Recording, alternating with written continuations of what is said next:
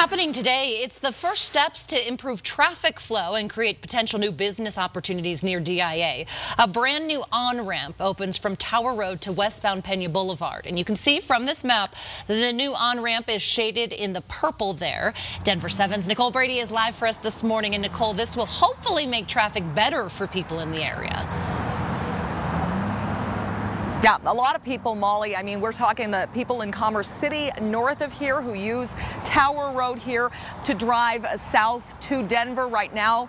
They have no connection. There, there's Pena right there. They cannot go west on Pena, though. They have to keep going south on Tower to make their connection.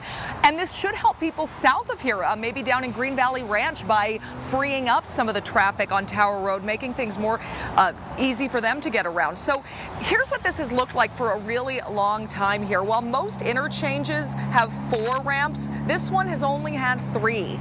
Tower to westbound Pena has been the missing link for more than two decades, really since DIA opened. A big hurdle getting this link was that the FAA did not want non-airport travel on Pena Boulevard.